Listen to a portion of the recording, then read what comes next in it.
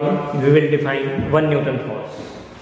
Consider a body of mass m on which a force F is being applied by us. Means just we are trying to pull it and it is being pulled in this direction.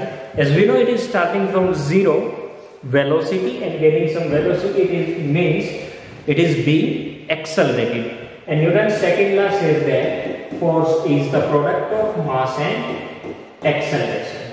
Okay. Now, if we keep the magnitude of mass, simply first we take 1 kg and apply that much amount of force that it gains an acceleration of 1 meter per second square, then what will be the value of force? 1 kg multiplied by 1 meter per second square that is equal to 1 Newton. Okay, simply we can define a force is said to be 1 Newton if it accelerates a body of mass 1 kg by 1 meter per second square.